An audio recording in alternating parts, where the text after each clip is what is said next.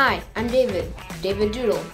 Long story short, a while ago, my family and me were transported from our neighborhood to the woods somehow. And I'm planning to have many fantastic adventures with you guys. David, give me my camera back.